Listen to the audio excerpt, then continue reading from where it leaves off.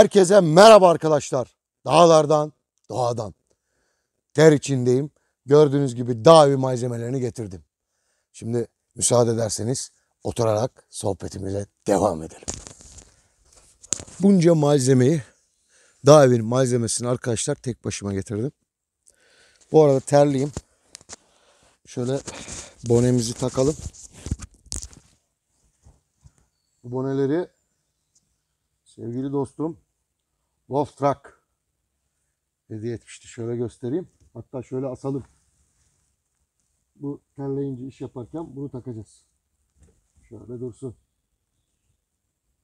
Değil mi? Güzel gözüküyor. Arkadaşlar dediğim gibi tek başımayım. Bugün Dogo da yok şansıma. Fakat şöyle bir açıklama yapmak istiyorum. Ee, ben bir inşaat ustası değilim. Ağaç işinden anlayan bir insan değilim. Hayatımda keser desem ki bir 10 yıl önce 15 yıl önce tutmuşumdur. Keser, çivi çakma. Yani işim olmazdı. Ne işim vardı? Bu dağ evini yaparken yapa yapa, boza boza, e, düzelte düzelte ancak o şekilde yapabiliriz. Yani çok öyle lüks bir şey beklemeyin. Burada size göstermek istediğim şey şu. Normalde kamp videoları çekiyordum. Gidiyordum işte işte böyle kamp yapın, şöyle kamp yapın. Size bildiğim kadarıyla aktarmak istiyordum. Ama neydi? Ayının bildiği 8 hikaye, 8'i bal üstüne. Artık yeter dedim. Buraya geldi. Hep aynı şey. Yemek yap. Ee, işte barınak kur, onu yap, bunu yap. Bir bushcraft olarak e, artık bu kamp olaylarına bir nokta koyalım dedim. Eğer kamp merak ediyorsanız eski videolarımı izleyebilirsiniz. Diğer arkadaşların da videoları var. Onlarla beraber karşılaştırırsınız. Hangisi işinize geliyorsa onu uygularsınız. Burada dağ evini yapma amacım şu. Artık yaz geldi yavaş yavaş. Burada keyif yapıp o lay lay lom bacaklarımı uzatıp rakıyı demleyip oh gelsin serin havalar oh nispetim olsun değil arkadaşlar. Ben e, belli bir süredir köy yaşamını tercih ettim. E, yavaş yavaş bu köy yaşamında ürettiğim şeyleri tüketmek istiyorum. Bu yüzden hayvancılığa başlayacağım. Hayvancılık derken öyle aklınıza 20-30 tane hayvan değil tabii. Bunun tavuk olur, iki koyun olur, bir inek olur. Bunu da şey, köyde otlatma şansımız az. O yüzden bu yayla yani burası köyün yaylası. Daha doğrusu dağ tepesi neyse. Burada böyle bir baraka yapıp burada e, hem hayvanlarımı otlatıp onlarla geçimimi sağlamak, yaşam sürmek, idame etmek. Bu etapta katıl tuşu var YouTube'da. Benim o şeyde işte yazıyor. Arkadaşlar şu ana kadar hiç demedim o katıl tuşuna katılın falan diye. Hani bana destek olun diye ama yani çok duygulandım. Beş tane arkadaşım var şu anda o katıl tuşuna katılanlardan. Onlara sonsuz teşekkür ediyorum. Az veren candan, çok veren maldan mıdır nedir? Hani o, şeyi söyleyeyim. Ee, ben bu arkadaşlara ve sizlere aynı videoyu sunuyorum. O katıldakiler şey var. Katılan arkadaşlar belgeseller, kamera arkası, işte e, şu YouTube'da yansıtmadığım şeyleri onlara bir nebze e, onların bu iyiliklerine karşılık bir iyilik yapmayı, jest yapmayı uygun görüyorum. O yüzden bazı şeyleri onlara yayınlıyorum. Siz göremiyorsunuz. E dediğim gibi 5 tane arkadaş var. Şimdi bu dağ evini yaptıktan sonra onların izin verirlerse isimlerini e, asacağım oraya yazacağım. Ben sonsuz teşekkür ediyorum. 3000'i bulduk. Allah'a şükürler olsun. Amacımız ünlü olmak, o tanınmış olmak öyle bir derdim yok. E, derdim ne? Bu dünya ölümlü dünya. İz bırakmak arkadaşlar. Yani bakarsınız küt diye gideriz ya. Ulan buradan bir Baycan Taner vardı o gitti. Hey gidim hey. Ne şiir okurdu belki demezsiniz ama. Ulan adam böyle yaşadı şöyle yaşadı. Oğluma çoluğuma çocuğuma işte torunlara ileride olursa onlara bir hatıra bırakma amacım odur. Ve sizlerle bir şeyler paylaşma. Burada yalnızlığı paylaşmak gibi bir cümle asla kullanmıyorum. Hoşuma da gitmiyor. Benim e, Ferrari kimi diyor ki Ferrari'sini satan bilgiye benziyorsun. Arkadaşlar Ferrari'sini satan Bilge benim e, okuduğum bir kitapta yazıyordu. Ferrari'sini satan Bilge Ferrari'sinin parasını dağda bayırda yiyor. Ben o şekilde değil. Kısıtlı bütçeyle, kısıtlı imkanlarla burada bir şeyler yapmaya çalışıyorum. E, şu ana kadar size hiç işte ne araba gösterdim ne bir şey gösterdim. Bir römorku gösterdim. Ona da abi römork yapmışsın falan yazdılar. Ya bu hanidir var.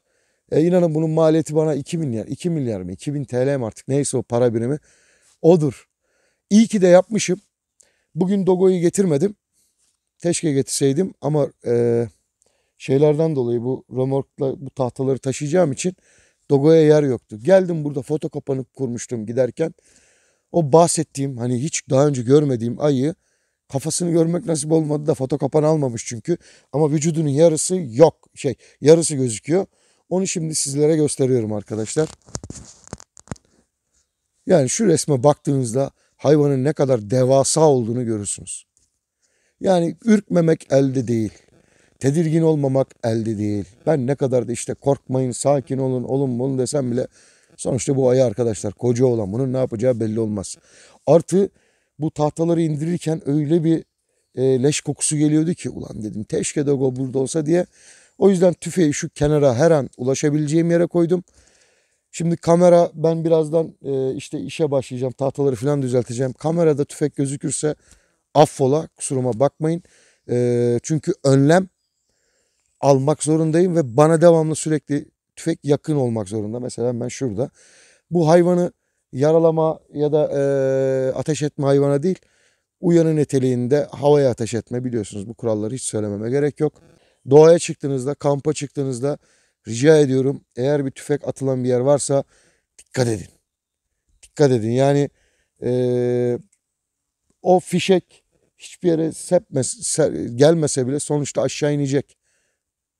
Yani o yüzden arkadaşlar mümkün olduğunca tüfek atılan yerde bulunmayın. Yani şimdi burada mesela oturuyorsunuz aşağıda tandan ses varsa en azından bir ses çıkarın. Onlara burada olduğunuzu bildirin. Allah korusun diyorum arkadaşlar. Dediğim gibi ayıyı gördünüz kocaman. Ee, yani bizim niyetimizi biliyor ayı. Allah'a şükürler olsun diyelim. Daha sonra da devam edelim arkadaşlar. Bugün şimdi size ilk etapta şunu göstereceğim. Buraya bu ağaçlar nasıl geldi? Bunu bir izleyin. Bu sırada ben bir soluklanayım. Daha sonra da dağ evi nasıl yapacağımı kafamdaki düşünceyi sizlerle paylaşacağım. Hadi görüşmek üzere.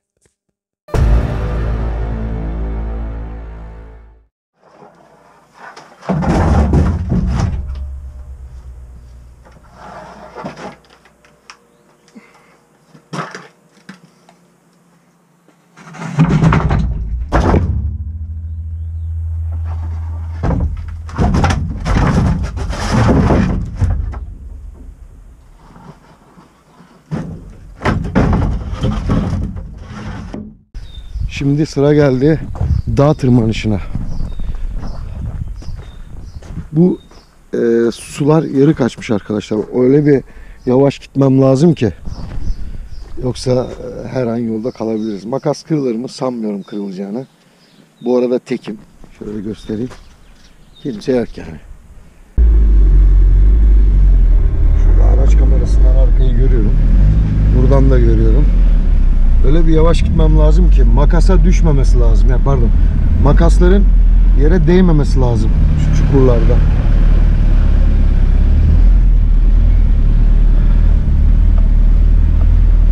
Ya da tahtaların değmemesi lazım. Yan tarafta kapağı mecbur açtık. Çok yavaş bir şekilde şu rampayı çıkacağım. Önümde bayağı uzun bir yol var. Hem kamera hem şey zor oluyor ama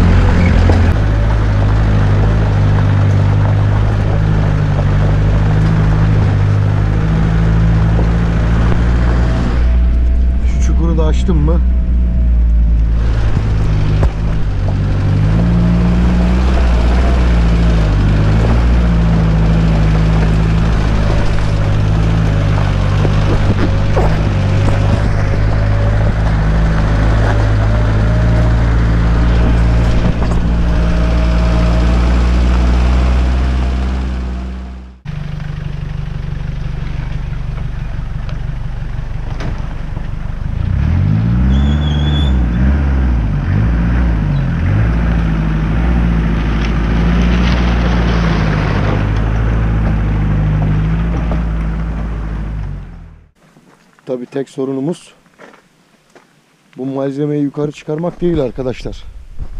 Gördüğünüz gibi burada bir harele hurele olmuş. Harele hurele derken yıldırım çarpması sonucu büyük ihtimal bu ağaç aşağı inmiş. Şu yukarıdan.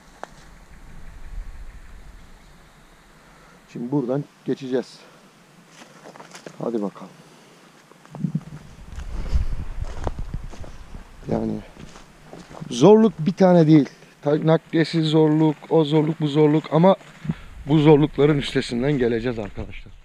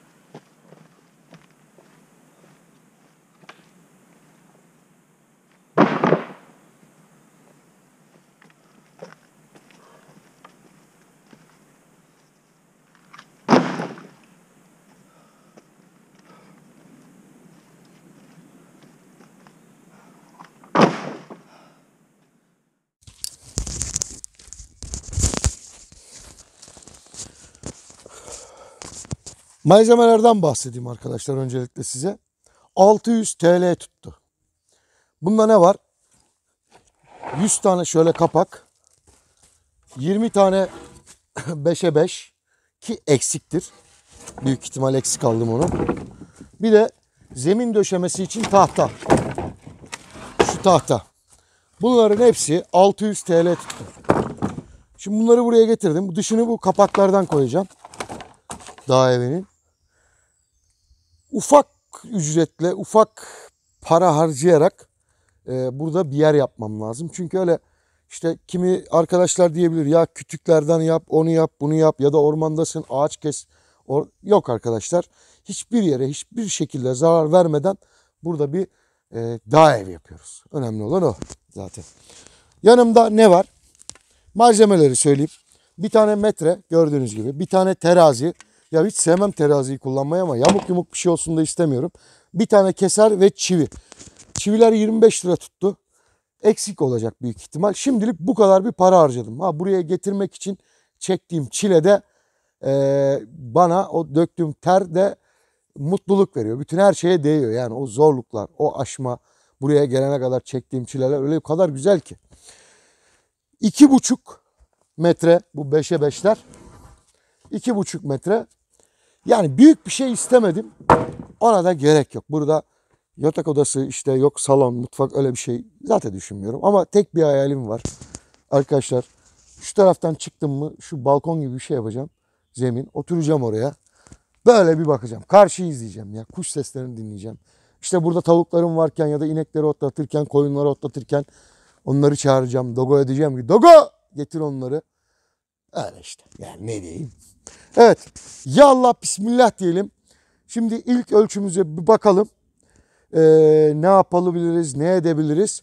Ondan sonra devam edelim. İlk yapacağım iş ya size de şunu yapacağım, bunu yapacağım diye anlatmak istemiyorum. Çünkü ben de o kadar profesyonel değilim. Bunlar da yanlışım olabilir. Ama bir logo gibi hani böyle yap boz var ya aynı öyle yapıp bozacağız, düzelteceğiz. O beğenmeyeceğiz, bir daha sökeceğiz, bir daha yapacağız. Önemli olan burada e, bir şeyleri yapa yapa, boza boza, kıra kıra öğrenebilmek. Kendi açımdan söylüyorum. Hadi ya Allah bismillah işe başlayalım.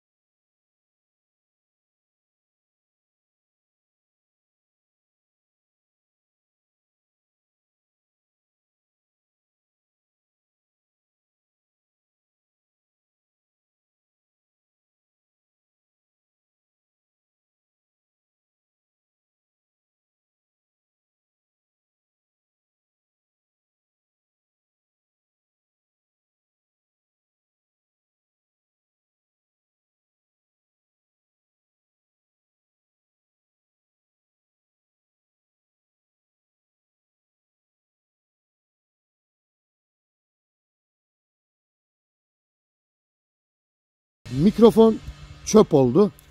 O yüzden ses biraz eee, kısık gelebilir. Oraya gittiğimde uğultu da gelebilir. Gördüğünüz gibi çöp. Şimdi bağırarak konuşacağım. Kusura bakmayın. Burayı bitirdim. Yani zemini bitirdim. Fakat aklıma şöyle bir soru geldi.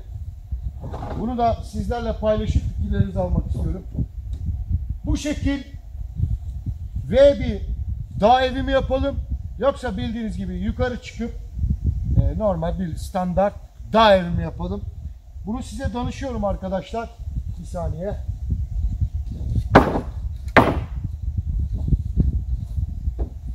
İkisini de yapabiliriz. Ee, V de yapabiliriz. Yukarı çıkıp V çatı da yapabiliriz ama şöyle bir daha göstereyim ben size. Gözünüzde canlandırın. Sizce hangisi daha iyi? Bak. Buraya çıkmamdaki amaç burada rahat yürünüyor, yürünüyoru size göstermemdi. Yani alan daralıyor mu? Tabii ki daralıyor. Ama bu yani. Bak. Zaten çok büyük bir şeye ihtiyacımız yok. Fikirlerinizi bekliyorum arkadaşlar. V mi yapalım yoksa bildiğiniz aynı bu şekilde dikip devam mı edelim? Ya da bir tarafa aşağı doğru mu yapalım? Şöyle hop. Ayakkabıları giyelim. Şimdi kamerayı yanaştıracağım mikrofon bozuk olduğu için. Bir bölümün de sonuna geldik. Artık yavaş yavaş hava karıyor, kararıyor ve yağmur yağmak üzere. Toparlayıp malzemeleri Togo'nun yanına yani köye ineceğim, ineceğim. Arkadaşlar sizden ufak bir ricam var. Lütfen reklamları atlamayalım ve bu programı paylaşalım ki mikrofon alalım. Yani mikrofon gitti. vay vay. Reklamları atlamayalım arkadaşlar. Abone olursanız sevinirim. Kendinize çok iyi bakın. Selam ediyorum dağlardan, doğadan.